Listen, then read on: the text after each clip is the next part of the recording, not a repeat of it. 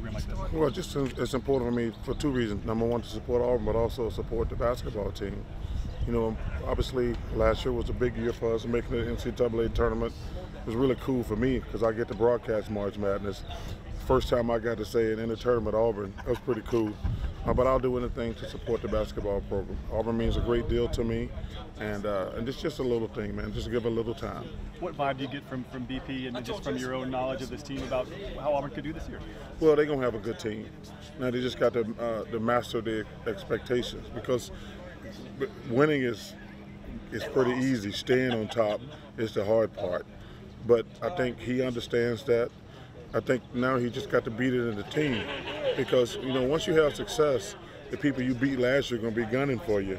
So they just got to raise their expectations. Lastly, you didn't get to play in this event last year, yeah. but now you're out. So how's your yeah. golf game? Well, my golf game is not golf game, uh, but you know, I listen, man. I just play it to have fun. It's a great sport. I love being out here, and uh, it's going to be a fun day.